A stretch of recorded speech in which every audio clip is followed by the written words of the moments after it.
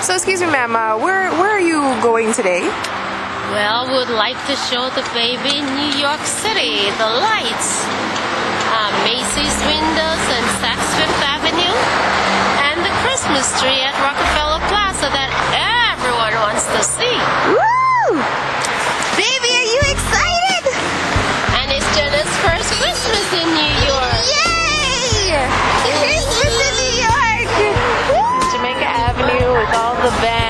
dollar vans.